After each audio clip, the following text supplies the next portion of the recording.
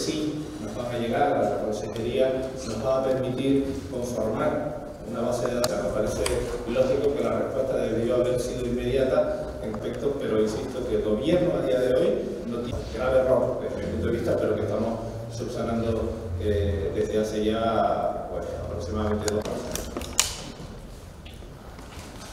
Es mucho más compleja. Hay que tener en cuenta que el proyecto está auditado. La empresa tiene que cumplir unos requisitos que es que todos los tickets o facturas que hagan el canje. Quería saber cuál, cuál en qué sido la dificultad de incorporar la restauración, que es la novedad.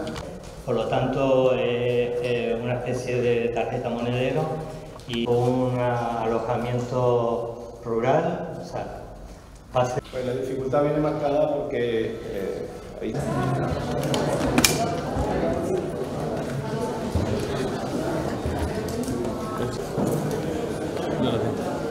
Tras el incendio sufrido en la isla de Tenerife y ante la caída de la venta de la pequeña y mediana empresa de esta isla, hemos decidido actuar en los 11 municipios que se vieron afectados por ese eh, desgraciado momento, por ese incendio en esta isla, en la cual pues hemos emitido unos bonos para ayudar a mejorar el consumo en la pequeña y mediana empresa, con una peculiaridad, y es que en estos bonos tendremos la oportunidad de que participe la Consejería de Turismo, es decir, eh, hoteles rurales, la restauración, los bares, las cafeterías también estarán incluidos en estos bonos que luego el presidente de FAUCA será quien explique cuál es el contenido, la forma y cuándo comenzará dicha campaña. Bueno, pues hoy ponemos en marcha estos bonos comercio Tenerife, en primer lugar para ayudar a todas esas pequeñas y medianas empresas de la isla de Tenerife que se vieron afectadas por el incendio del pasado 16 de agosto, concretamente 11 municipios. Y por primera vez estos bonos incorporan una dimensión turística que muchas veces es olvidada.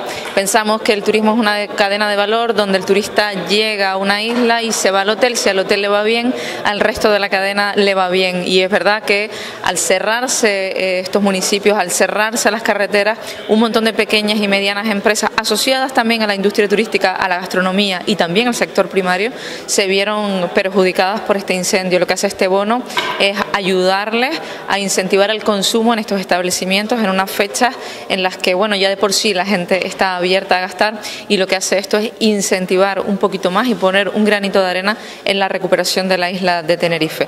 Esto también además pone un hito que yo creo que estamos demostrando las distintas consejerías del gobierno y es que no somos consejerías estancas, somos consejerías que hablamos, somos consejerías que colaboramos con un único fin, donde el residente canario es el centro y la empresa canaria en este caso es también el centro.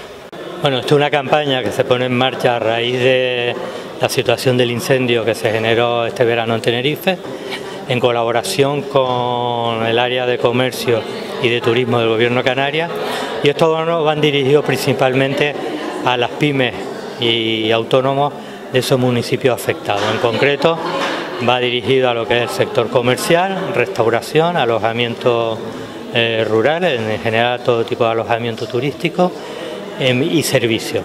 Eh, en concreto puede ser peluquería, esteticien, eh, esa área.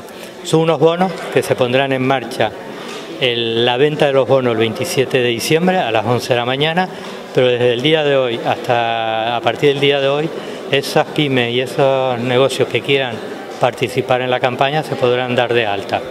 ¿Dónde se pueden dar de alta? En la web bonoconsumotf.com. Ahí verán las condiciones de participación que son muy sencillas, que se resumen en cuatro puntos. Es un certificado del IAE de la empresa, un certificado de la entidad financiera, en donde la empresa tiene la cuenta corriente, una foto del establecimiento para la página web y, los certificados de estar al corriente. Esa es una condición indispensable, sobre todo para la hora de cobrar esos bonos. Certificado de estar al corriente tanto en la Seguridad Social como en la Agencia Tributaria como en la Agencia Canaria. Esas son las condiciones cara al empresario. Cara al consumidor, las condiciones son, bueno, darse de alta en la, en la web, podrá adquirir hasta 10 bonos con un valor facial de 20 euros, de los cuales 10 euros pone el propio consumidor. Ese bono va a tener un formato de tarjeta monedero que podrá adquirir, que podrá canjear en cualquier establecimiento de los adheridos a la campaña durante un periodo de tres meses, hasta el 31 de marzo. En, la página aparecerán los establecimientos con el tope máximo de canjeo, que va a ser 3.000 euros, y ahí podrá ver el consumidor si está disponible ya ese negocio para canjeo o no.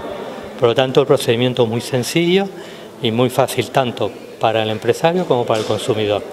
Por parte de la federación lo que haremos es revisar esos tickets, si están correctos, pues pagarle en un plazo máximo de 15 días.